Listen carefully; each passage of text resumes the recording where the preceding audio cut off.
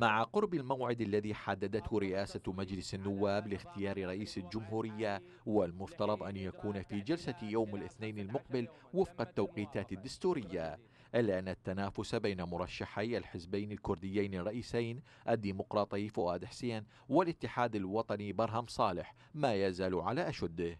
مرشح الديمقراطي الكردستاني فؤاد حسين أكد للحرة أنه يحظى بدعم كبير من القوى السياسية الرئيسة في بغداد والكتل الكردستانية. كونه مرشح حزب يمثل صاحب القرار في الإقليم حسب قول حسين إلا أن البعض يرى أن التوقيتات الدستورية ستكون عامل ضغط لحسم هذا الموضوع. التوقيتات الدستورية أنا بتقديري ربما تشكل ضغط كبير جدا باتجاه التعجيل بحسم المناصب الرئاسية منصب رئيس الجمهورية ومنصب رئيس الوزراء. الفترة المنصرفة يعني أنا أعتقد شهدت الكثير من الحراك لكنه لم يثمر أو يفضي إلى نتيجة تحسم الجدل دائر بالمشهد السياسي العراقي. وحسب بعض التسريبات من داخل تحالف البناء فإن الأخير وعلى لسان أحد قياديه فاتح زعيم الحزب الديمقراطي الكردستاني مسعود برزاني حول إمكانية استبدال مرشحهم فؤاد حسين بسبب ما أثير حوله من إشاعات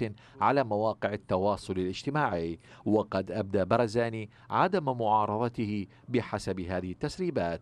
أعضاء عن ائتلاف دولة القانون أكدوا أنهم مع المرشح الذي يحقق الإجماع الكردي. ندعم أصحاب القرار وطرحنا عليهم أن يكون التوافق الكردي هو أصحاب القرار. عندما يأتي المرشح من كردستان مدعوم من الإجماع الكردي آه، سيكون صاحب قرار بالتأكيد مع احترامنا لكل المستقلين المرشحين. ولكن هنالك مشاكل آه، عالقة بين بغداد وكردستان بحاجة إلى من يمثل هذه الأحزاب ومن يمثل هذه الحكومة برلمانيا آه، من أجل أن نحاول حل هذه الإشكالات. إصرار الحزب الديمقراطي الكردستاني على منصب رئيس الجمهورية الجمهورية هو مناورة سياسية بحسب مراقبين. القصد منها الحصول على منصب محافظ كركوك وبعض الوزارات السيادية مقابل التنازل عن منصب رئيس الجمهورية للاتحاد الوطني الكردستاني. يحاول أن يضغط على الاتحاد الوطني الذي يتسم بالتفكيك